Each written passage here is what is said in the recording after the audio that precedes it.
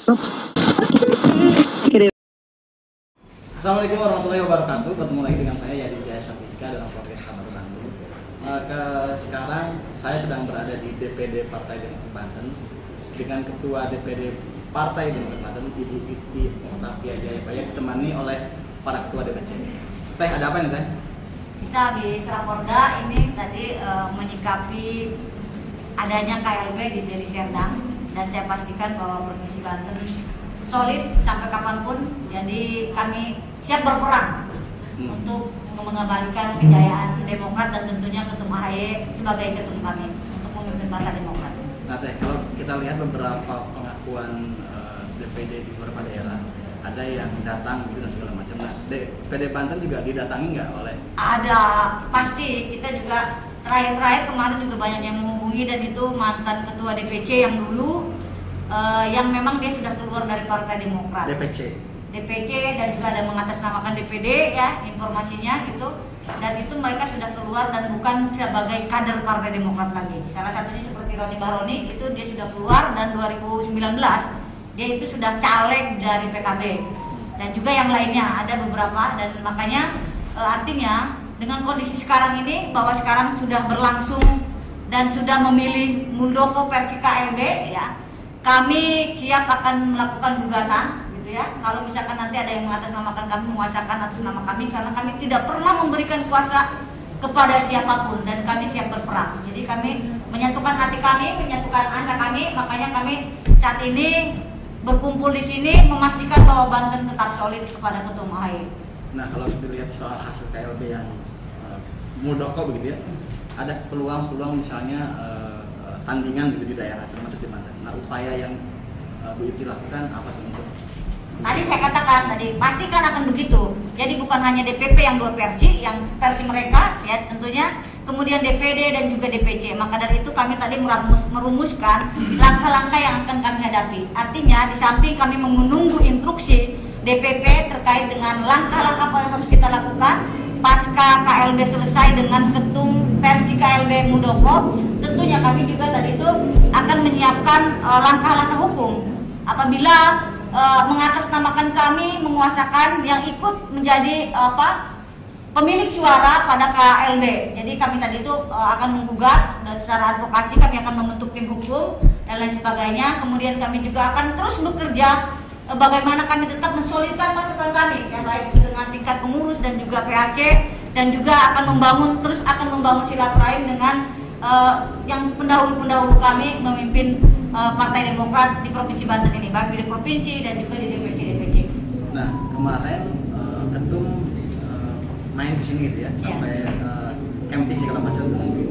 Apakah kedatangan AIC ini salah satu bagian uh, untuk mencegah itu atau ada potensi itu dan apa yang dibicarakan dengan? Enggak, jadi kalau ketum ini kan senangnya eh, kita ini ya beda kan jiwa anak muda kan ingin juga apa eh, merasakan ya merasakan bagaimana sih atmosfer teman-teman eh, Partai Demokrat di Provinsi Banten. Jadi pendekatannya lebih pendekatan personal. Jadi jangan dianggap bahwa pemimpin partai itu kaku tidak mau mengenal eh, seluruh pengurusnya, kadernya di daerah. Jadi jangan jangan sampai ada persepsi misalkan daerah disuruh bekerja saja memenangkan pilkada dan sebagainya tetapi susah berkomunikasi dengan ketumnya. Itulah yang ingin dibangun oleh uh, ketum kami bahwa dia juga anak muda sama seperti kita apalagi sekarang generasi milenial kan gitu ya. Artinya secara regenerasi kepemimpinan Partai Demokrat jauh lebih di depan gitu. Karena kalau yang lain sekian puluh tahun masih memimpin dan masih orang-orang tua kalau kami orang-orang muda kan gitu. Artinya orang-orang muda ini sekarang yang menentukan masa depan bangsa gitu ya ya bukan berarti tidak memerlukan orang tua gitu.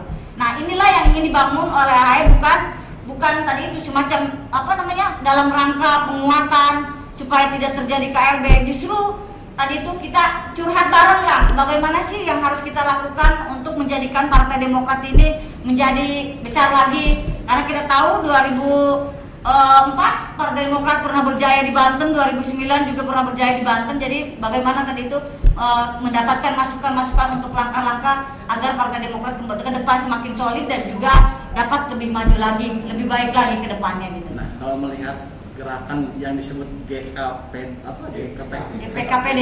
GPKPD itu adalah para mantan dan senior senior gitu.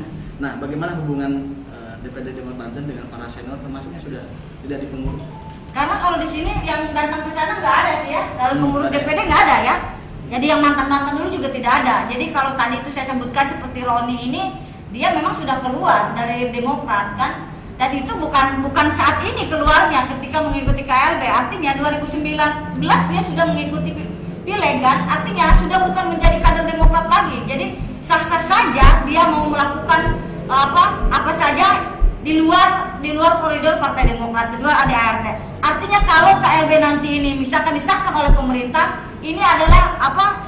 ilegal. Ilegalnya kenapa? Karena yang menyuarakan menyuarakan mengatasnamakan kami itu bukan kader Demokrat lagi dan pegangannya dari SK mana kan begitu. Hmm. Jadi kalau ya begitu ya. Jadi kalau kita ketum AHY kita ada apa SK Menumham, kami juga ada SK dari DPP yang memang secara de facto kami adalah pengurus sah, pemilik suara sah eh, di kepengurusan Partai Demokrat di Provinsi Banten. Dilihat dari sisi pak survei Demokrat yang terkini itu kan naik dan di depan mata banyak agenda politik termasuk mungkin pilgub Banten. Nah ada nggak kekhawatiran paling apa? Kalau kita lihat kan banyak juga partai-partai yang kemudian eh, be- apa berkonflik akhirnya ada dualisme dan berdampak terhadap.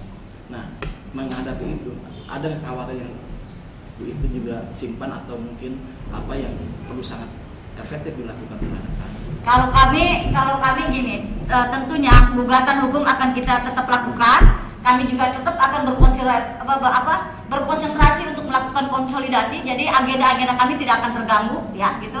Konsolidasi ke masyarakat. Kami terus menyuarakan dan bersama-sama berkoalisi dengan rakyat, gitu. Ya program-program proyek yang kami canangkan, yang diperintahkan oleh Kutum akan tetap berjalan.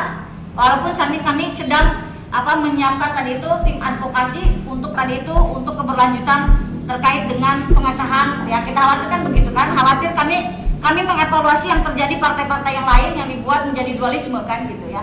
Nah ini kan tujuannya adalah supaya partai kami tidak bisa ikut serta nanti di pemilu kan? Ini yang perlu kami antisipasi tetapi kami juga tetap kerja kerja kepada rakyat. Jadi kami akan tetap konsen kepada itu dan tetap tidak meng- tidak melupakan juga kami mempersiapkan untuk advokasi terkait dengan eh, apa menyikapi terjadinya KLB tadi gitu. Ada himbauan nggak teh buat kader Demokrat di Banten termasuk pihak-pihak yang ingin mengganggu eh, Demokrat teman di Banten. Mungkin kalau kita bersuara semua, silakan, ya, silakan, silakan. bagaimana ketika ada orang yang menggoyang partai kita dan akan menduduki kantor-kantor kita menjadi ketua, gimana teman-teman? Nah itu, jadi jawabannya kami siap berperang. Pertaruhan kami adalah pertaruhan nyawa untuk keberlangsungan partai yang kami cintai ini. Artinya Demokrat Banten menyatakan Ya betul. Apalagi kita punya ilmu teluh kan, kita gampang aja kita ke sini kita teluh teluh aja kan. Gitu. Nah, nah, setelah ini Eh.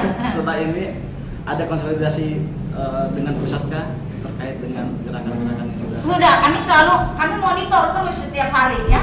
Monitor terus karena kami juga walaupun sebelum ada isu-isu KLB ini kami selalu berkomunikasi dengan DPP. Termasuk tadi itu dengan program-program yang dicanangkan oleh ketum kami. Selama ketum kami eh, satu tahun ini tentunya tadi itu eh, ini di- dilihat dari survei Partai Demokrat bahwa eh, program-program kerja yang dicanangkan oleh ketum kami itu sangat menyentuh rakyat.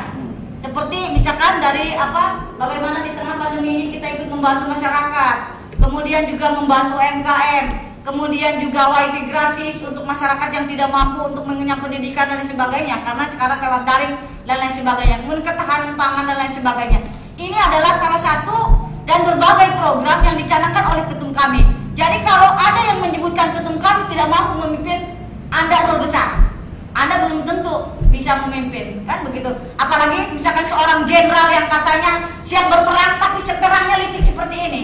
Hah? Mengkudeta partai orang yang dengan manajerial yang baik dan kami pasukan siap tempur gitu. Jangan jangan kalau mereka jenderal kami tidak berani bertempur, kami siap tempur gitu. lebih dari jenderal. Ya, lebih dari jenderal. Pertanyaan terakhir, Bu Iti. Eh, soal sejarah eh, pendirian Partai Demokrat diungkit, terutama soal bagaimana Pak SBY. Nah, tanggapannya Pak. Kalau saya ibaratkan begini, orang udah mak kenyang makan ya, gitu ya. Orang udah makan kenyang kan sama seperti yang dimulai dari jam dan lain sebagainya. Kemudian juga jenderal itu yang sekarang kang mul itu ya gitu ya. Dia nggak tahu diri gitu. Orang nggak tahu diri dan orang nggak berterima kasih. Kalau bahasa sebenarnya itu apa harus ingat ke Purwodakshi dia bisa menjadi seperti itu karena siapa? Karena SBY kok. Gitu ya. Jadi kalau menyebutkan SBY bukan pendiri dan sebagainya dia mau menyanyikan Mars Partai Demokrat. Yang menulis Mars Partai Demokrat itu siapa? SBY gitu kan? Yang menulis himne, yang mendesain bendera dan lain sebagainya SBY. Jadi dia menjilat udah dia sendiri. Malu dong kalau dia tidak menerima kepemimpinan uh, AHY dan M, eh, apa? Majelis tinggi kami SBY gitu kan? Buat apa dia pakai lagu-lagu itu? Bikin aja di lagu sendiri mungkin. Ah gitu. Ngimpi di siang bolong lagunya kan gitu kalau saya bilang. Ah gitu kan? Ya iya kan gitu dia mimpi. Kayak mimpi apa orang lagi tidur bangun tiba-tiba dia langsung melek gitu terus mimpi hayang iya kan gitu kan. Ini orang kayak gini jadi tidak mau berdarah-darah membangun partai tetapi tadi itu dia ingin langsung menjadi seseorang tanpa mau capek kan begitu. Jadi kalau kami uh, kayak tadi kami pastikan bahwa Partai Demokrat di Bandung solid dan kami siap berperang. Ya. dan kami patut kepada ketum AHY Bu itu marahnya ke saya kayak kamu dok. ya aja sih lalu kayak kan dia mulai bener deh kayak lebih gelutan Baik teh, mungkin ada pesan atau apa dengan terhadap kader dan semua masyarakat. Banten. Mungkin masyarakat Banten sekarang melihat bagaimana pola-pola mereka ya melakukan kudeta kepada Partai Demokrat. E, bisa menilai sendiri dan kami tentunya Jakarta ini negara demokratis yang inilah harusnya difasilitasi oleh pemerintah untuk menjaga demokrasi sehingga rakyat percaya ya kita negara hukum maka harus dibuka secara hukum juga. Dan harusnya kalau melihat pandemi COVID-19 ini di mana kegiatan-kegiatan masyarakat juga tidak boleh dilakukan sosial kemasyarakatan tetapi ini melakukan pembiaran pelaksanaan KLB dengan kerumunan massa. Malah saya mendapat kabar ketua DPD Sumut juga diserang kan oleh yang mengamankan kegiatan KLB itu. Artinya bahwa ini bukan lagi dia pro kepada demokrasi tetapi tadi itu menjadikan apa jabatan dia ya sebagai penguasa berada di kekuasaan untuk menghalalkan segala cara. Dan ini cara-cara yang zolim kepada rakyat. Artinya partai demokrat saja bisa diginikan apalagi rakyat. Gitu. Jadi eh, kepada masyarakat tetap kita konsisten dan tetap fokus bahwa kita harus survive. Karena yang mampu bertahan di tengah pandemi ini adalah orang-orang yang kuat yang percaya akan kekuatan Allah. Kita tetap berikhtiar, kita tetap berdoa dan Allah yang akan menentukan hasilnya. Tapi bagi kader Partai Demokrat jangan khawatir. Kita siap berperang. Jadi jangan khawatir, saya memastikan juga kepada seluruh fraksi Partai Demokrat, kami berada di sini, kami juga akan terus mengawal Bapak Ibu sekalian sehingga mereka tidak menguasai Partai Demokrat di Provinsi Banten. Gitu ya. Mungkin itu dari teman-teman Ada ada? yang mau menyampaikan dari Ada kawan? Pak Yayan mungkin? Boleh saya sampaikan? Silakan. Terima kasih Bu Ketua. Assalamualaikum warahmatullahi wabarakatuh. Waalaikumsalam warahmatullahi wabarakatuh. Saya Yoyon Sujana, Ketua DPC Partai Demokrat Kabupaten Pandeglang, merangkap sebagai anggota fraksi Partai Demokrat di DPRD Provinsi Banten. Dalam kesempatan ini kami tidak akan pernah mengakui kepemimpinan Partai Demokrat selain yang dipimpin oleh Ketum AHY dan Ibu Ibu Insya Allah kami sekata akan berjuang keras dan kami akan berkoordinasi melalui praksi-praksi di masing-masing kabupaten kota dan saya khususnya di Pandeglang. Alhamdulillah pimpinan fraksi dari eh, Partai Demokrat Kabupaten Pandeglang hadir menyaksikan langsung dan saya instruksikan di depan Ibu Ketua bahwa Bapak Ibu sekalian bekerja sama, berkonsolidasi, dekati pemerintah daerah agar ketika mereka mengusulkan SK-SK bodong itu jangan diterima. Demikian, terima kasih. Assalamualaikum warahmatullahi wabarakatuh. Waalaikumsalam. Saya Supriyati dari Kota Tangah ingin menyampaikan bahwa segala kejoliman itu akan ada akhirnya. Kebenaranlah yang akan menang. Masyarakat sudah melihat gerak-gerik siapa yang benar, siapa yang salah. Kami yakin pertolongan Allah akan datang. Terima kasih. Ada lagi? Ada, Ustaz. Ah, halo. Baik. Teh, ini terima kasih banyak momen yang luar biasa dari Partai Demokrat. Tentu kita berharap eh, hal yang terbaik buat Demokrat, Amin. terutama buat DBT. Terima kasih banyak teh. Buat semua. Demokrat! Siap! Demokrat! Siap! Demokrat! Jaya! Jaya! Jaya! Baik, demikianlah podcast istimewa kali ini bersama saya Yadi Jaya. Terima kasih banyak. Wassalamualaikum warahmatullahi wabarakatuh. Waalaikumsalam.